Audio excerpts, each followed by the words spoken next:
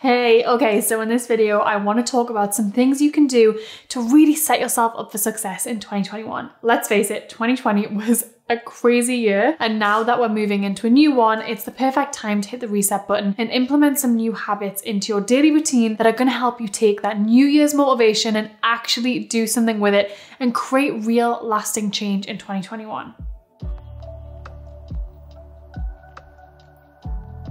Welcome back to my channel. I'm Natalie, CEO and co-founder of BossBabe. Now, if you are new here, this channel is all about supporting ambitious women. I share no BS, straight to the point strategies on building a personal brand, growing on social media, and starting or scaling your online business. So if you're into that, I would love for you to subscribe to this channel and join our amazing growing community of boss babes just like you. Today, I'm going to be sharing with you my favorite strategies that have helped me create lasting change in my life, especially around New Year's because Let's face it, New Year's resolutions only mean so much if you're not actually executing and taking action on them. The strategies I'm going to share with you are really going to help you to actually take action on your goals for this year and stay consistent doing it. I'm personally going to be implementing all of these strategies and make sure to watch until the very end of this video because I'm going to be doing a little 90 day challenge that I would love for you to join me on. So the first thing, which is probably not going to come as a surprise if you know me, but it's declutter your space. I am all about organization and having things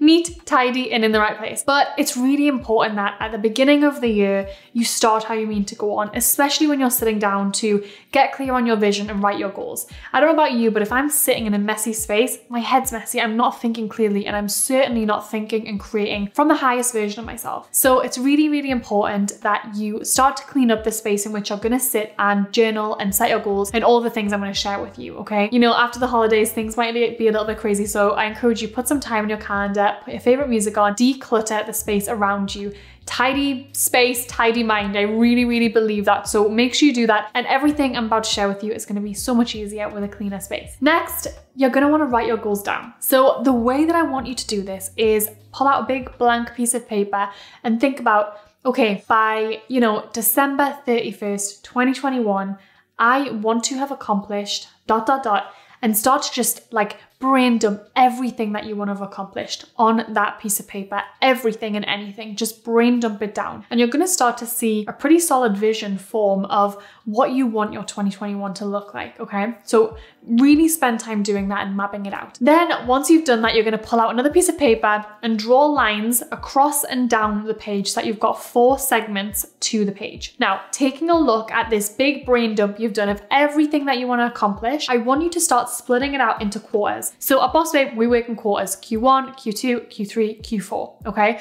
And so what we'll do is we'll transfer our goals into these quarterly areas. It's more digestible. I know what I'm working towards in the next three months. So start to pull things out and write them in a quarter and just, you know, cross them off this big board as you go along. So the big kind of brainstorm of goals you've got beside you, as you take one off and write it down and say Q1, you're gonna cross it off the big one so that you're gonna really work through, make sure you've got none of those things left and everything's being accounted for. Then I want you to revert back to this piece of paper with all the four quadrants and all of your goals on there. And I want you to go through with a fine tooth comb and make sure that you actually want to accomplish these things and you're not just putting them there for the fun of it which sounds crazy, but you'd be surprised. Too often we get this excitement around overachievement and all the possibilities, and we look at them, we're like, I actually don't know if I care about hitting these goals. So really go through one by one, do I care about hitting this goal? Is Q1 the right place for me to hit this goal? Am I taking on way too much? Am I taking on not enough? Really go through and get clear on that, okay? Once you've done that, you should end up with four quadrants and all of these goals. Then I want you to go through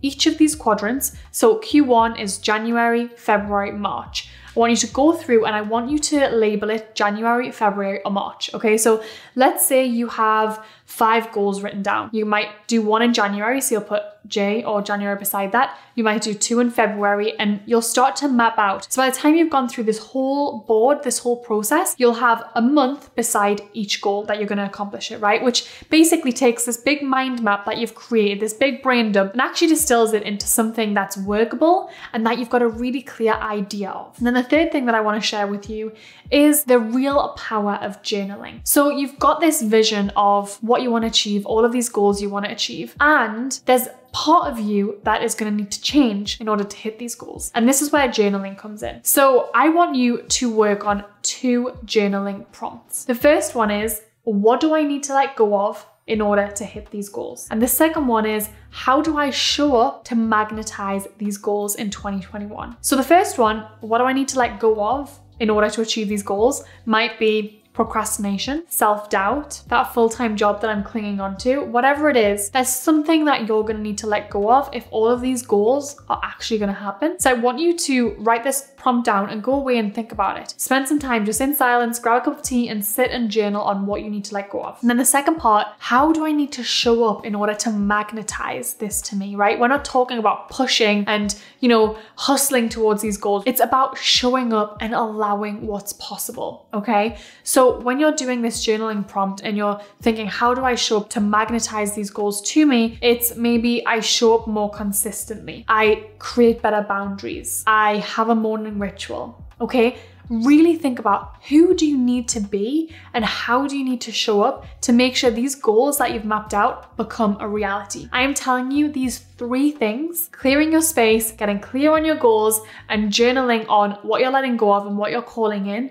are going to be an absolute game changer when it comes to planning 2021. If you're ready to reset your life and make your New Year's resolutions a reality, I have a reality check for you. The truth is, most people don't actually follow through with their resolutions, and it is not because they are not motivated. It's simply because they don't put the systems in place to set themselves up for success. We have created a 90 day planner that is specifically designed to help you plan your days, track your goals, and take action on the things that are gonna move you forward. This 90 day planner is usually $50, but because we wanna help make 2021 your best year yet, we're offering you the chance to get four planners at just $97. So if you're interested, you can get them in the link in the description below. Make sure you hurry though, because I know for sure that these are gonna sell out fast. As always, thank you so, so much for watching. And if there are any topics that you want to know about, you want me to talk about, or you have some questions for me, then just drop a comment in the comment section below and let's make 2021 our absolute best year yet. I will see you next week.